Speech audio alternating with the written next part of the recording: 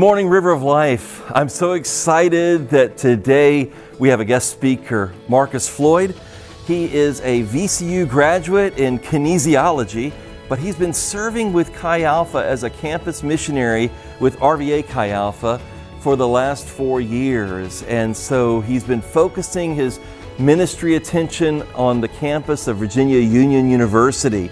And I've seen Marcus as I've been back from the mission field. I've seen him at the pastor meetings, and uh, he's always a very friendly young man. And uh, I, I, thought, I heard he was a great preacher, and I thought, what a great opportunity to have him come and share uh, from the scripture as well as from his testimony, because Chi Alpha had an integral part in reaching him to be used by God for the gospel. And so today we're focusing on Chi Alpha. We're focusing on how uh, Chi Alpha is reaching out to this particular community here in Richmond of students at different campuses. And so, Marcus, I'm so thankful that you can be here today. God bless you. Thank you.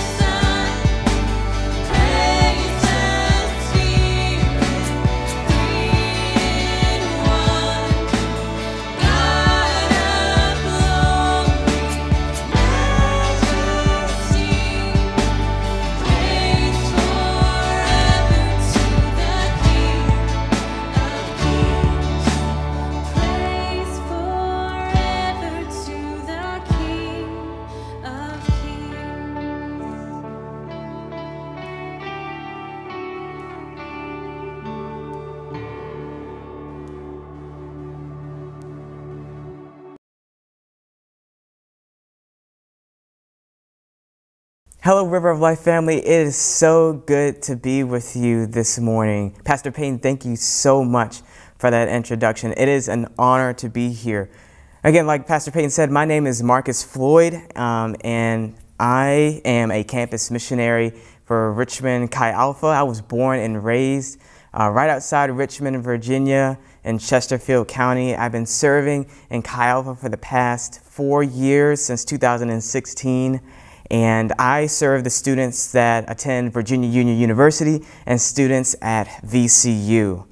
Uh, we're all in a challenging season right now with the coronavirus uh, pandemic that's been going on across our country, but also our world. But even in this season, we have hope.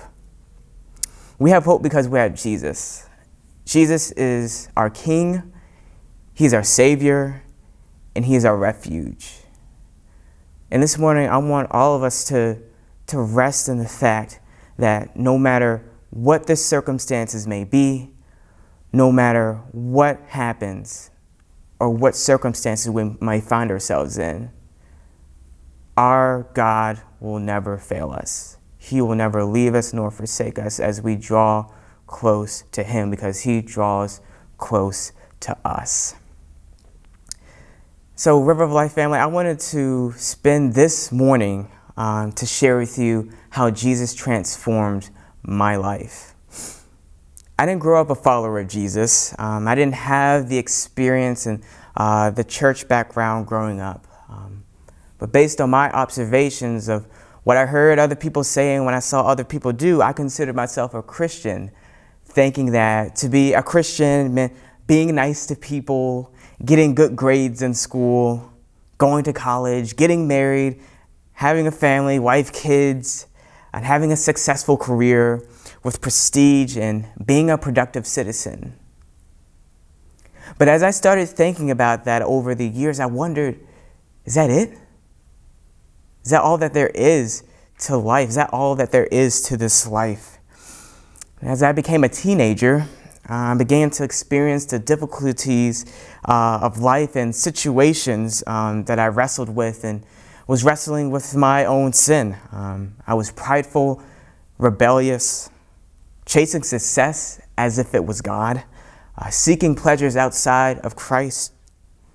And because of what I experienced in those difficult years, I thought God was distant and He didn't really care about me. But that he had other things to do and he had other people uh, to be with, but not me. I began to see that my view of God did not match to the reality that I was experiencing. And it didn't address the brokenness that was inside of me. So once I graduated from high school, I couldn't settle on the assumption of who Jesus is any longer. I needed to know for myself heard people talk about God, but I wondered, what is he like? Is he kind? If I reach out to him, will he reject me? Will he only see the brokenness inside me and cast me away? Does he see the situations that I'm in? Does he want to be with me? Maybe that's where you are today.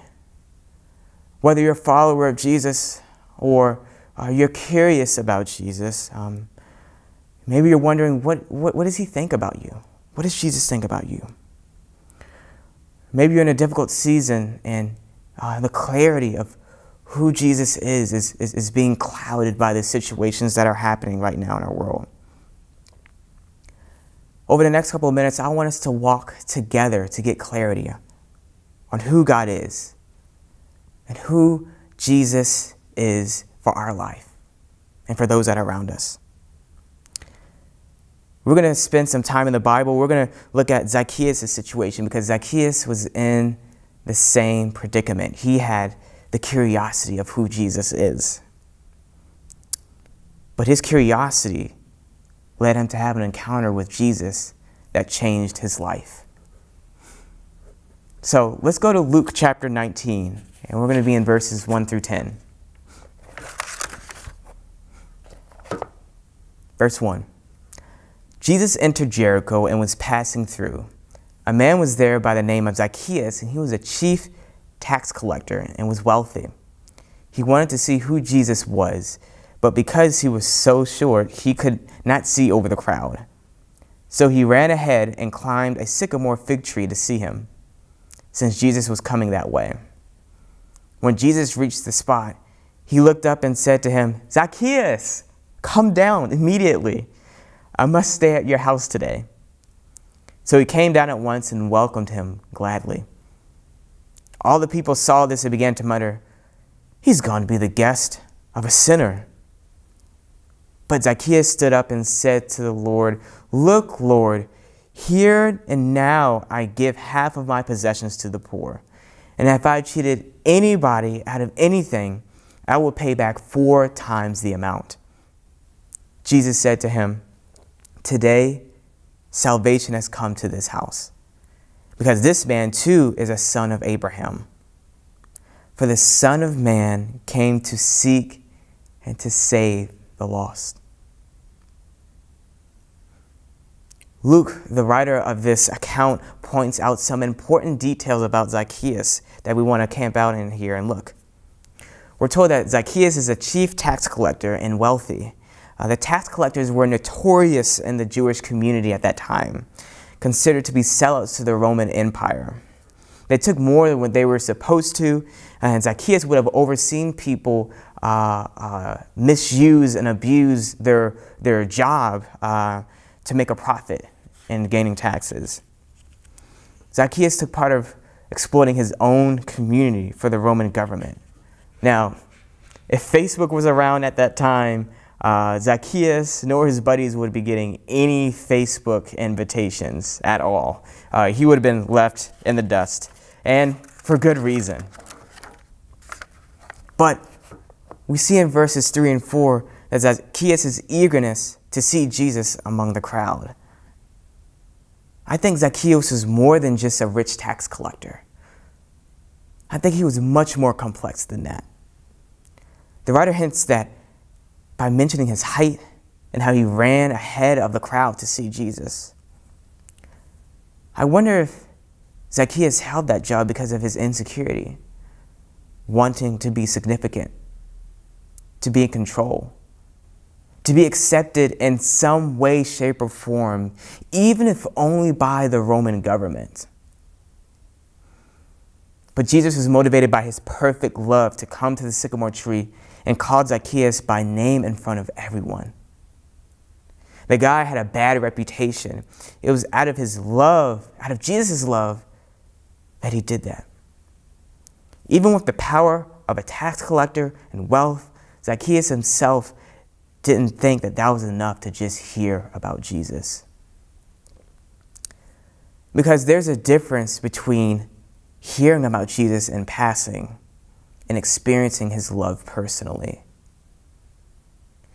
And the reality is, Jesus invites us into his story through his personal invitation. Jesus invites us into his story through his personal invitation. In my story, I experienced Jesus' love personally in his invitation. So back to my story. I've never been to a church before. Growing up, I, I just didn't have that community um, experience. I would have these questions in mind. What are you supposed to wear? Oh, where, what clothes are you supposed to wear? Where are you supposed to go? What church am I supposed to go? What, what are church services like? I know worship happens, but how does that work out? How are you supposed to read the Bible? I had a lot of questions. So I decided to download the Bible app uh, and started reading the Gospels for myself. And after reading them, I made the decision I wanted Jesus to be Lord of my life. Jesus' declaration of who he is and the works that he did transformed my life. And I saw that how he is personal to the brokenness, to broken people, that he's personal to sinners, busted up sinners like me. I thought he was distant, but he revealed to me who he is, how compassionate he is. And Jesus, I saw the heart of God for the world but also for me personally. There was room for me at the table to be with Jesus. He invites us in. God revealed to me who He is through the Bible, and I chose Jesus. Jesus invites us into His story through His personal invitation. So let's continue on reading in Luke, verse chapter 19. Let's go back to verse 8. But Zacchaeus stood up and said to the Lord, Look, Lord, here and now I give half my possessions to the poor. And if I've cheated anybody out of anything, I will pay back four times the amount. Man, that's, that is just radical response right there. Jesus said to him, Today salvation has come to this house, because this man too is a son of Abraham. For the Son of Man came to seek to save the lost. It looks like whatever conversation Zacchaeus had with Jesus, that conversation changed Zacchaeus' heart.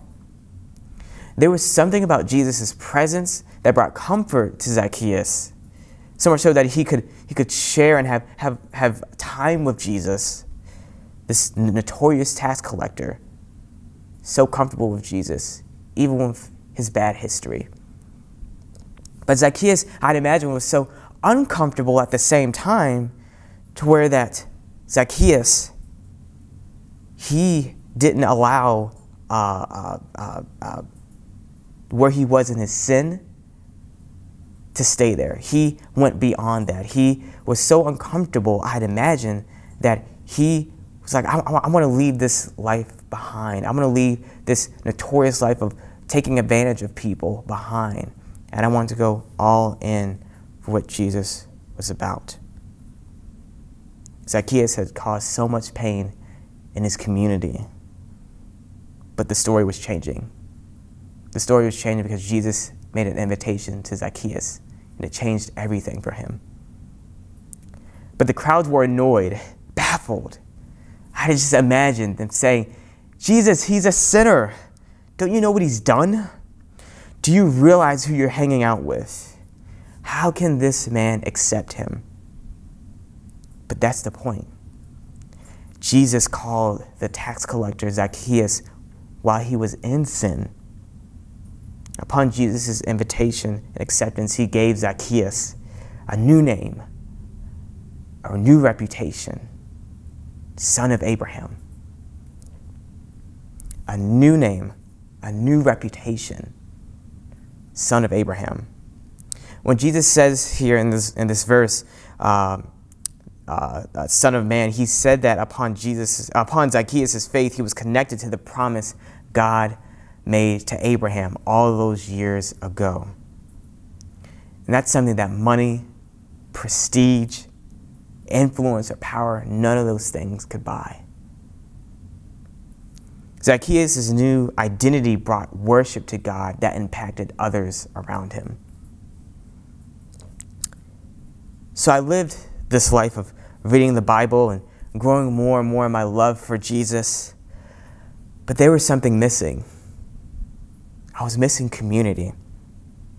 Um, I didn't have a community of followers of Jesus to help me along in my journey with Christ. And we're not meant to live our lives alone.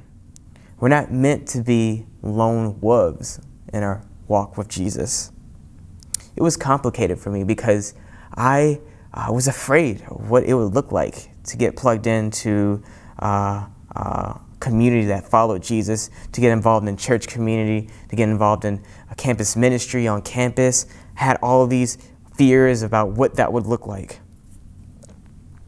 But looking back, I see that that was the best decision that I made. That I didn't truly understand how good Jesus' community is and how vital it was for me to walk for the long haul with Jesus, with people to my left, to my right, in front of me, behind me, walking together. I was so focused on becoming an occupational therapist after college at VCU that I was dodging all the different campus ministries. I was so preoccupied, but also I had those fears. And it wasn't until my sophomore year in the spring semester that I was walking through the main part of campus at VCU, running late to physiology lab, and a group of, of, of, of people were on the side. I could see them on, on the left side of my peripheral vision, and it was Chi Alpha people. And they were throwing frisbees. And they threw me one of these frisbees. And it was this one, it was this exact frisbee. Chi Alpha, love God, love people, pass it on. I ended up catching this frisbee from one of the people uh, that were tossing it out. And it was another six months before I followed up on that invitation from um, people who love Jesus and Chi Alpha. Because I was afraid. But when I got plugged in, I got plugged into a community that loved Jesus and when that would help me grow as well for the long haul. They helped me to grow with Jesus, to have devotional life with Jesus, to live life as a college student that is solely focused on giving God glory with everything he does. But I also grew in friendships with those that are around me in the Alpha community as well. Jesus changed my life. He changed my eternity. And people in Chi Alpha, they played a significant part of me learning to what it looks like to live out a life following Jesus in community. Being involved in small group, growing in my brothers and sisters in Christ throughout those two years, and worshiping Jesus with all of my life. It was amazing. And I was having a blast. Uh, but then my small group leaders informed me of this very uh, important thing that happens to college students. They were graduating. They were like, Marcus, uh, we're going to graduate, so uh, this is happening. Like, no, you guys can't leave me. You guys can't go. But then I realized, oh, yeah, they, they do have to graduate. They are seniors. But they pulled me aside and said, you know, Marcus, you'd be a good small group leader. You, you'd be a really good small group leader. I'm like, oh, you guys are talking about me? Like, what? Like, being able to lead the charge and, and help people grow in their relationship with the Lord and, and, and really leading that? It's almost like that, that moment when like your parents give you the car keys for the first time to be able to drive the car. It's like, what? I was like, I, there's just so many things I don't know. I feel like I'm not an expert in the Bible. There's just like all these things. And I was making excuses, but in making those excuses, I ignored the things that God had done in my life all the way up to that point. And I didn't realize that God was going to equip me. That God was going to equip me as I obeyed him. After I prayed and, and thought about it, I said yes to being a small group leader. I said yes to being a small group leader because I knew what Jesus had done in my life. And I believed I could trust him with this decision. I did, and I saw so much goodness come out of it. Um, when I was a small group leader in Chi Alpha at VCU my senior year, I saw people in my small group lives being transformed. I saw people growing in lifelong friendships. My eyes were open, my mind was expanded to what it means to live for Jesus and to have a heart for those around me in relationship with Him and to do something about it in community. Jesus invites us into His story through His personal invitation. So, what was my response? And what is my response to that? God transformed my life and invited me into his story. And now the same questions I had about Jesus, brokenness, I wrestled with in and around me, I get to meet students, college students, where they're at with those same questions. And I get to make disciples who make disciples on the college campus and that will go off into the marketplace and into the world and bring forth God's kingdom. It's of my opinion today that this world is in a desperate need of Jesus and his kingdom and his rule and his reign. But what will all of our response be in response to Jesus' invitation? What will our response be to what Christ has done in our lives? God is giving you an invitation into his story. In this season, how can you give yourself space to allow God to show his personal love and invitation to you? In the midst of COVID 19, who is around you? Who has God placed in your circle of influence this season? Who can you share Jesus with, not only in word, but in how you live your life? I believe that in response to Jesus' invitation, personal invitation, I believe that we can exemplify, that we can um, go out into a world that is, that is broken and to reveal who God is and that Jesus is personal, that He is near, and that He wants to transform this world and bring forth His kingdom. Let's pray. God, thank you so much for what you are doing in our lives. That, Lord, that what you're doing in this world, God, that you are personal and that you want to be in a relationship with us, God. Lord, I pray that you would help us, whether we're following you, Jesus, or have questions, that you would meet us where we are. And that you would help us to see that you want a relationship with us and to guide us and to lead us and to make an impact in others' lives as well. We love you, Jesus. We thank you. Have your way in our lives. and In your name we pray. Amen.